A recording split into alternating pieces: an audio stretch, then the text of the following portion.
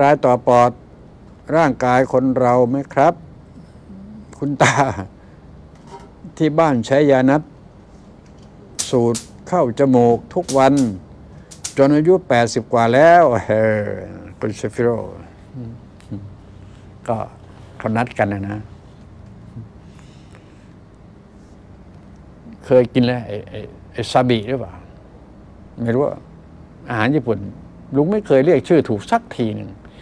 มันกินแต่อะไรมันออกจมูกออกตาด้วยนะจริงนะออกทั้งตาด้วยนะ นั่นนะครับ ไม่ต่างจากยานัดเลยครับพ่นเข้าไปปื๊ดกืดเลย ลุงก็ไม่เคยใช้ยานัดนะด้วย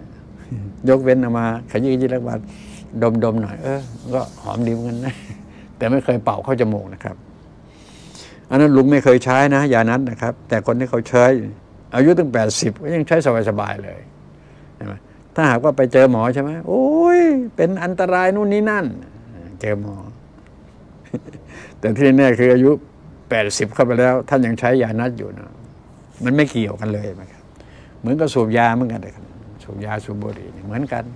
บอกโอ้ตายตายคนบอกว่าสูบบุหรี่เป็นเป็นโรคปอดเป็นมะเร็งเนี่ยตายก่อนลุงทุกรายให้รู้ไว้โทษทีขออนุญาตท่านอยู่หน้าจอที่เคารพครับ ท่านจะมีอายุเท่ากับเท่ากับเท่าไหร่ไม่รู้หรอก เดี๋ยวนี้นะครับ ผมพูดวันนี้ผมพูดวันที่ 21 พฤศจิกายน 2563 ท่านอยู่หน้าจอหน้าวันนี้เดี๋ยวนี้ด้วยนะครับ ผมไม่ทราบท่านอายุเท่าไหร่หรอก แต่ถ้าหากว่าท่านบอกว่าสูบบุหรี่เป็นมะเร็งตายเนี่ยผมว่าผมว่าขออนุญาตนะ